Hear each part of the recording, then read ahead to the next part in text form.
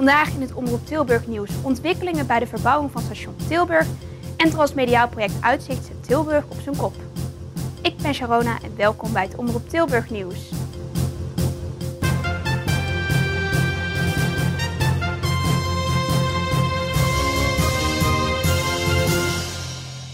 Maandagavond 19 mei is het coalitieakkoord van het nieuwe college van burgemeester en wethouders aangenomen.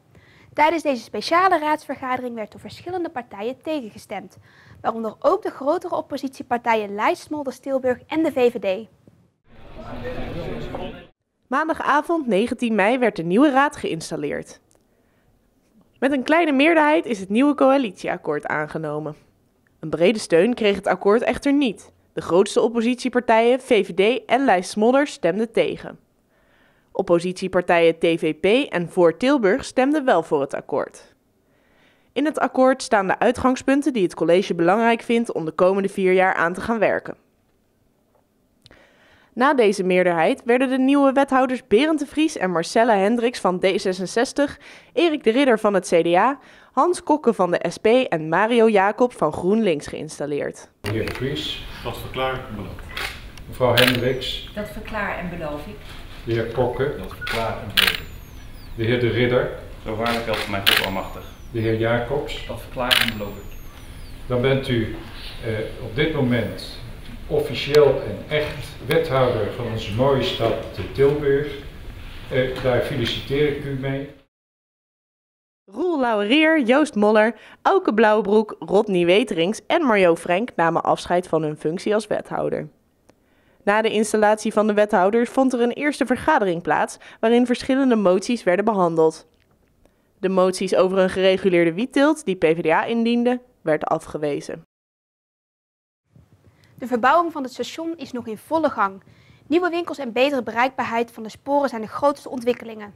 De uitbreiding zal waarschijnlijk nog zo'n twee jaar duren. De verbouwing van het station is in volle gang. Op dit moment is de stationshal afgesloten en zijn ze aan de noordzijde druk bezig met het gereedmaken van de tunnel. Deze en twee andere tunnels zullen in oktober onder het spoor geschoven worden. Hierdoor zal het station zes dagen niet bereikbaar zijn. De projectmanager van ProRail is zeer tevreden over het verloop, want alles loopt volgens planning. Waar we op dit moment mee bezig zijn is, eh, is aan deze noordzijde om eh, de tunnel helemaal gereed eh, te maken. Er moeten nog eh, spoordekken opkomen waar de trein uiteindelijk overheen moeten rijden. Ook het perrongedeelte dat wordt er ook nog opgemaakt. Dus het wordt een hele zware gevaarte. Eh, dus daar zijn we druk mee bezig. En aan de stationskant zijn we nu ook druk bezig, want die tunnel moet daar tegen het, het oude station aankomen. Dus daar hebben we nu de hal leeg gemaakt. En achter de hal zijn we nu druk bezig met slopen. En om daar ook het eh, tunnelgebouw gereed te maken om daar het, het nieuwe, de nieuwe passage te ontvangen. We willen natuurlijk zo, zo breed mogelijk tunnel. Hè. Het is ook de, de, de grootste tunnel die we gaan inschuiven in Nederland eh, voor het eerst. We proberen de overlast eh, tot een minimum te beperken. Eh, zoals je ziet hebben we toch wel de hal moeten afsluiten. En we hebben wat, wat winkels op het voorplein moeten zetten. Dus dit, dit is eigenlijk de belangrijkste stap in het geheel. Door de werkzaamheden kan het station soms rommelig ogen. De meeste reizigers zijn begripvol en zijn benieuwd naar het resultaat dat volgens planning begin 2016 gereed zal zijn. Ja, nu nog vervelend, maar ik ga ervan uit dat het wel mooi wordt. Het was onderhand wel nodig, denk ik, dat het verbouwd werd. Dus eh, het moet er netter, eh, netter uitzien en uh, Tilburg moet de stad lijken. Ik vind het wel een goede actie, want het station wordt er beter van. En eh, fijn dat er dan vanaf Noord een eh, ingang komt. Ja, ik weet niet hoe het wordt en ik hoop dat het mooi wordt, maar nu vind ik het best vervelend qua drukte. Ja, ik heb er zelf niet echt last van, zo, dus uh, ja, mij maakt niet zoveel uit dat ze hier bezig zijn. In oktober schuiven we de tunnel in. Uh, dan zijn we nog, uh, nog, een, nog een half jaar tot een jaar echt bezig met het verder afbouwen. er komen er ook winkeltjes in, et cetera. en je moet het zo zien dat we eigenlijk in begin 2016 dat het voor het publiek echt open gaat. Op de ochtend van 22 mei stond er opeens een gecrashte auto op de Heuvelring in Tilburg. Eerder die week stond er ook al een container op het Pieter Vredeplein. Dit is allemaal het werk van vier studenten van Fontes Academy for Creative Industries. Met een transmediale project genaamd Uitzicht geven ze iedereen de kans om mee te helpen het criminele drugscircuit van Tilburg te ontmaskeren. Vier studenten van de Fontes Academy for Creative Industries hebben een transmediale campagne opgezet. Dit is een campagne waar iedereen aan mee kan doen en via verschillende kanalen verspreid wordt. Uitzicht is een uh, transmediale campagne die zich richt op uh, drugs, uh, criminaliteit in de omgeving Tilburg. Afgelopen periode zijn er in Tilburg veel drugspakketten opge, opgedoken. Ehm, nou, dit is vrij opvallend. vanaf het moment dat Menno van Acht, de onderzoeksjournalist in Tilburg, zich ermee gaat bemoeien. En komen er dingen aan het licht die eigenlijk in de onderwereld van Tilburg hadden moeten blijven. De studenten volgen de minor Transmedia Storytelling op de Fontes. Transmedia Storytelling, um, daarbij staat het verhaal centraal. Je hebt dus uh, bij Transmedia Storytelling ruimte voor interactie.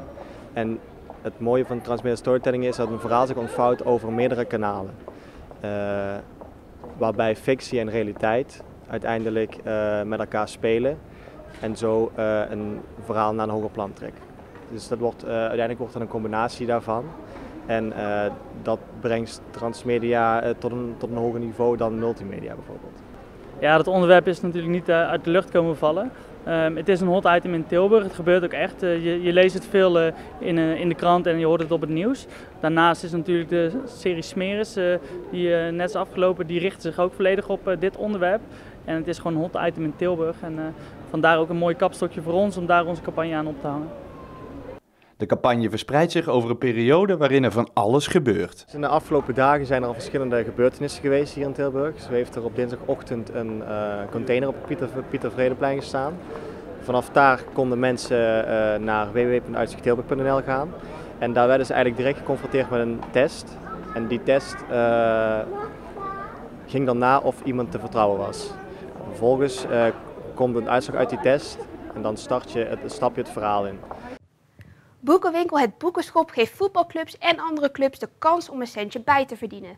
Dit doen ze door het voetbalarchief van Brabants dagbladverslaggever Henry van der Steen te verkopen. Hij heeft in 35 jaar een zeer kostbare collectie opgebouwd. Ik ben uh, kunstredacteur Brabants Dagblad, uh, redactie Tilburg.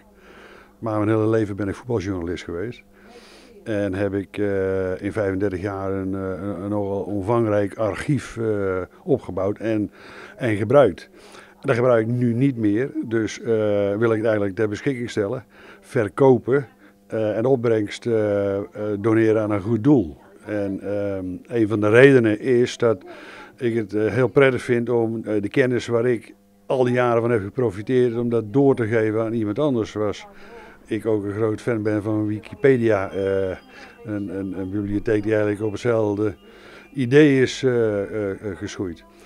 Um, nou ja, ik, ik, ik, heb een archief bestaan uit boeken, uh, uh, artikelen uit kranten, tijdschriften, video's en dvd's. Henry van der Steen wil met de opbrengst van de collectie een donatie maken aan Tilburgse voetbalclubs.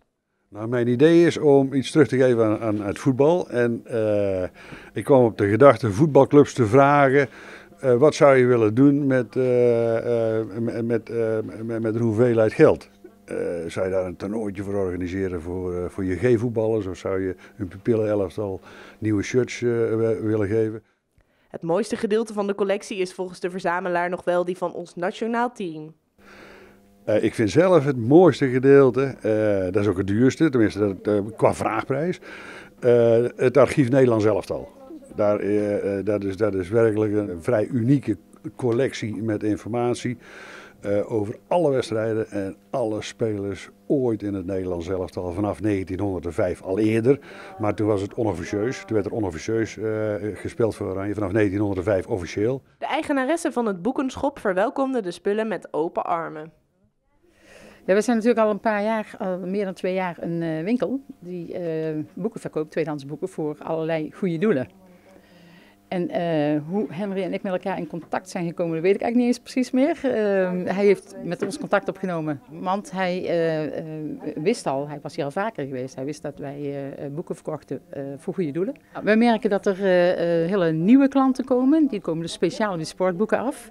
En dat is voor ons wel fijn, want en passant kunnen we ze laten zien wat we allemaal nog meer hebben. Het, het praat zich ook rond, kennelijk. Tot 1 juli kunnen de voetbalclubs hun idee voor de donatie nog inbrengen. Dit was het Omroep Tilburg nieuws voor deze week. Voor meer nieuws kun je natuurlijk terecht op onze website. En heb jij nieuwstips voor ons, stuur dan een mail naar redactie.omroeptilburg.nl Mijn naam is Sharona Laurijsen.